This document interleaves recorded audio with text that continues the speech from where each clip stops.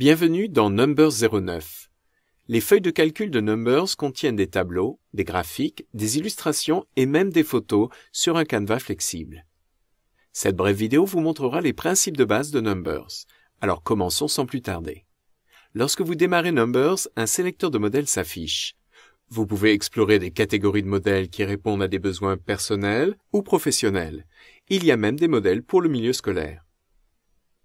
Vous pouvez démarrer soit par un modèle, soit par un document vierge pour créer votre propre feuille de calcul personnalisée. Personnaliser votre feuille de calcul Numbers est facile. Faites glisser l'angle inférieur droit pour redimensionner les tableaux et cliquez dans la partie supérieure gauche et faites glisser pour les déplacer librement. Vous pouvez ajouter autant de tableaux que vous le souhaitez en cliquant sur le bouton Tableau de la barre d'outils, puis en sélectionnant un type de tableau. Vous pouvez redimensionner le nouveau tableau et le placer ailleurs sur votre feuille. Vous pouvez aussi appliquer des styles à vos tableaux pour en peaufiner la présentation. Sélectionnez votre tableau, puis cliquez sur un style dans la sous-fenêtre Style. Pour saisir des données, il suffit de double-cliquer dans une cellule et de commencer à taper. Une fois toutes les données saisies, vous pouvez modifier la mise en forme de vos tableaux. Et comme les tableaux sont réellement indépendants dans Numbers, le fait d'en modifier un n'a pas d'effet sur les autres.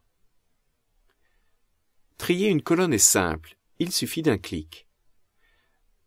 Vous pouvez aussi formater facilement vos données en sélectionnant les cellules que vous voulez, puis en cliquant sur les boutons de la barre de format. Numbers vous offre plus de 250 fonctions. Lorsque vous sélectionnez un groupe de cellules, les fonctions les plus courantes et leurs résultats s'affichent dans la partie inférieure gauche de la fenêtre. Pour placer la somme dans la ligne du total, rien n'est plus simple. Il suffit de glisser et de déposer le calcul somme dans la cellule où vous souhaitez le voir apparaître. Il est aussi facile d'ajouter un graphique à votre feuille de calcul. Sélectionnez les cellules du tableau à utiliser, puis cliquez sur Graphique dans la barre d'outils, et enfin choisissez un type de graphique.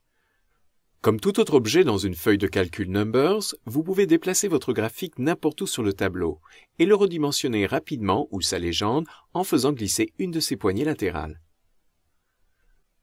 Pour donner un titre au graphique, double-cliquez sur le titre par défaut et tapez le vôtre à la place.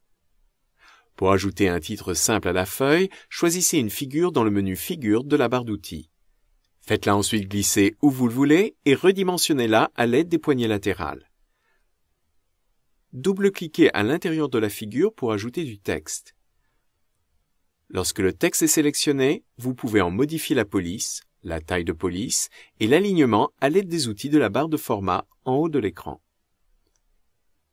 Après vous être brièvement familiarisé avec Numbers, vous pourrez très vite composer des feuilles de calcul aussi belles qu'informatives. Bienvenue dans Numbers 09.